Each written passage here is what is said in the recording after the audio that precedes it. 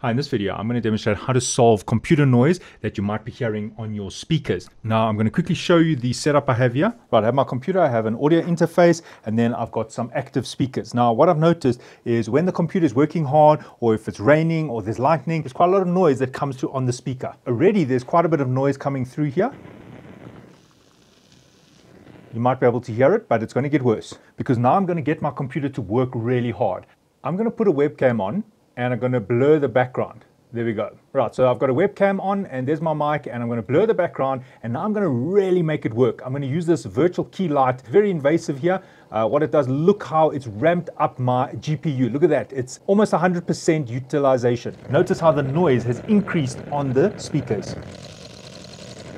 Here is the audio interface. Even if the volume's at zero, I still get that noise. Even if I mute it, I still get that noise. If I swap it out for another audio interface, I still get that noise because the problem is the wiring of the audio interface. And I'm going to quickly show you what the problem is.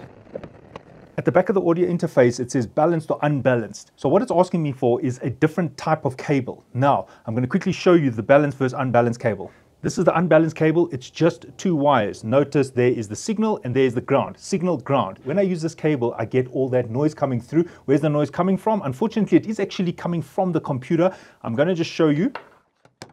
At the back of the audio interface, I'm plugging it in. At the back of my active speaker, it says unbalanced and I'm plugging it in. And there is that terrible noise. I'm going to unplug it.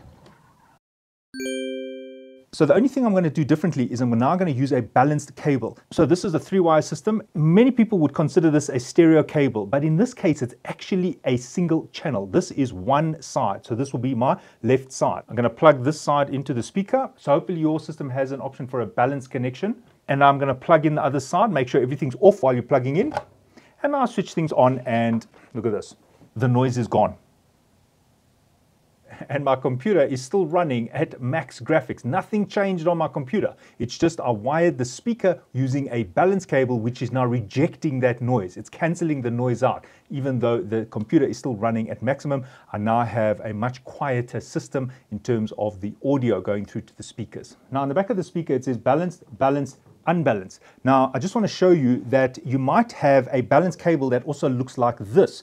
Notice it is a jack to a jack, but it is a three wire to a three wire. So in this case, if yours looks like this on the one side and you plug it in, and on the audio interface side, you also plug it in like that, even though it's a 6.35 millimeter jack and not this type of connector, the XLR, it's still a balanced cable because it is a three wire system. If however your cable looks like this, yes, on the one side, it looks like a three wire because there's three pins there on the XLR, but look at the other side of the cable. It is two wires, the signal and then the ground. This is still an unbalanced cable, even though on the one side, it was an XLR, which is usually used for balanced cables this is still an unbalanced cable.